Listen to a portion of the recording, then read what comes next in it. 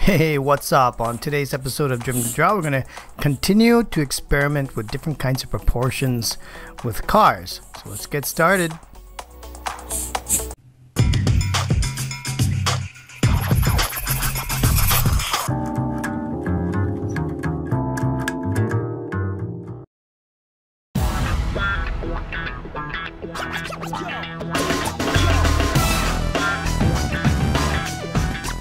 Hey, what's up? What's going on? Arvin here.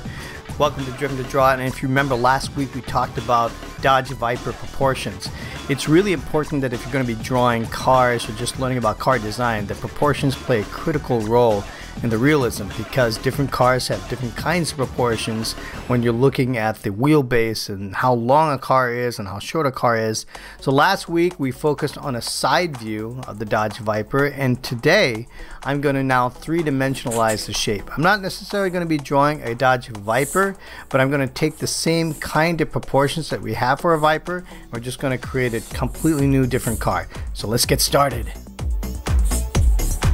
Now wait, don't forget, if you're driven to draw cool cars and learning about transportation design and how to improve your overall sketching abilities, give me some love and smash that subscribe button right now.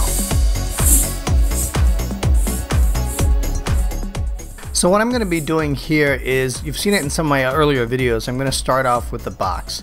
I start out with the rectangular box because this really helps to set up my view when I'm starting to draw these cars. And it's always important to break things down to primitive and basic shapes because that's really what's going to help your brain kind of rationalize some of these more complex forms. So you have to take it in like a very step-by-step you know basis because if you try to do very complicated shapes then it gets really difficult. So I'm going to start off here with placing my ellipses. Now I haven't gone through the full construction. You know, I've got other videos where I can kind of show you what kind of ellipse, the degrees of ellipse that we use when we're drawing cars in a particular perspective. And I'll show that on a separate video.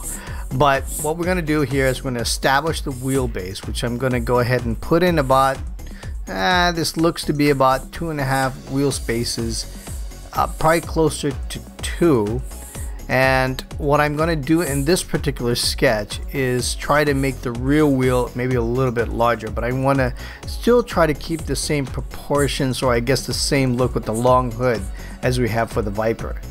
So now what I'm going to do is I'm creating this huge slab this huge rectangular slab in shape and I'm sort of going to carve away at the rectangular box or extend the rectangular box if you know what I mean you can see my side view. I get a little bit of elevation when I get to the rear of the vehicle to create a little bit of a shoulder.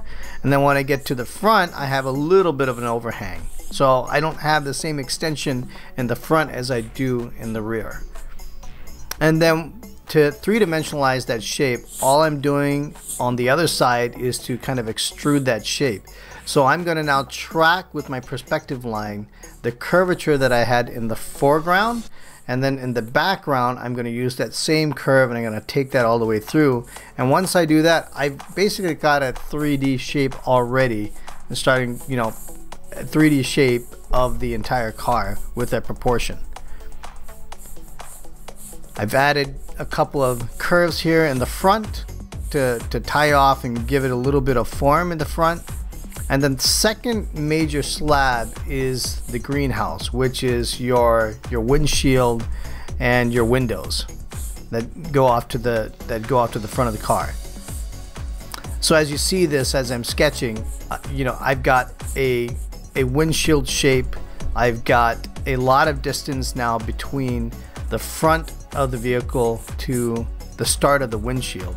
So I'm already kind of using that long proportion or that long uh, front nose of the vehicle that's supposed to package that massive V10 engine.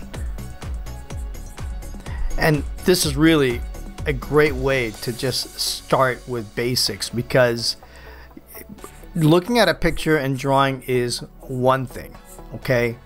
But drawing something from your imagination, from your head, is completely different. You do need to understand current cars and their styling and how to replicate them. But if you're just drawing cars to replicate them, that's kind of like a different art form in itself where you're kind of creating art. Uh, and that's great because I love to do that too. I love to, to paint.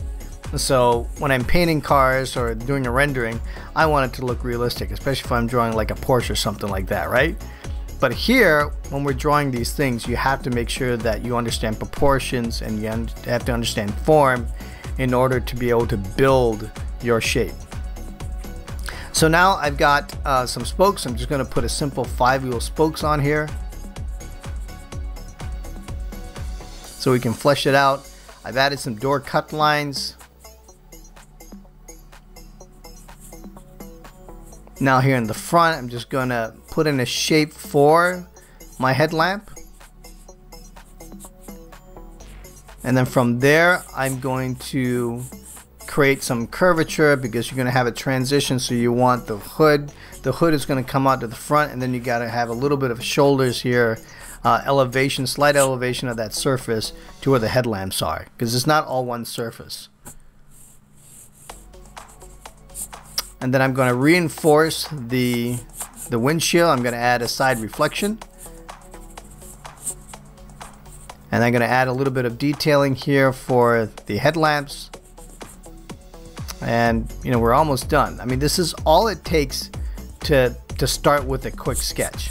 And I don't think I spent more than maybe 15 10 15 minutes on it. We're gonna add a little bit of a character line here on the side and then we'll describe that character line and the shape of what it's doing with the section that's going to um, be described by the door cut line right? So the door cut line's got to follow that shape.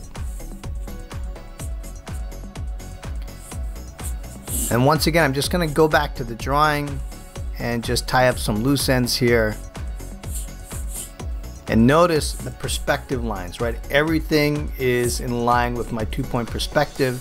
Nothing's diverging, nothing's out of whack. And that's really important to make sure that when you're drawing things and you're drawing your, your windshield line, that you have a very light marker, which is what I'm using here, to kind of track your lines in perspective. Because if they start to diverge and you start to make your, your lines um, follow a diverged line, it's just going to look really weird. It's going to look awkward.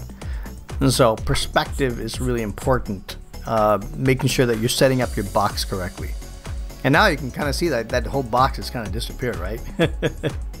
so anyway, I hope you really enjoyed this video and uh, we'll see you next time on Driven to Draw. I got a special Halloween treat for you also, so come back on Monday for the next video. We'll see you then. Have a good one.